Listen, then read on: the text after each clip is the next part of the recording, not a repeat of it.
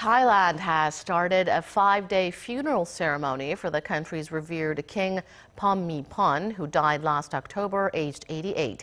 His body will be cremated later today on a royal pyre within a newly built cremation complex of gold pavilions in front of Bangkok's Grand Palace. About 250,000 mourners are expected to attend the ceremony, many of whom started gathering days before despite heavy rain in order to secure a spot to say their final farewell. King Bhumibol was regarded as a pillar of stability during a reign of seven decades that witnessed political turmoil and rapid development in the country.